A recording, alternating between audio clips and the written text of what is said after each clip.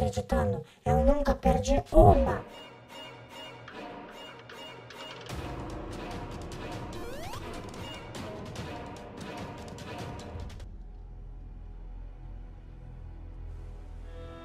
Me desculpe por tudo. Essa não era a minha intenção. Agora tudo é apenas um caos e eu não sei mais o que devemos fazer. E não adianta tentar ir pelo elevador. Ele parou de funcionar, foi por ele que eu cheguei aqui.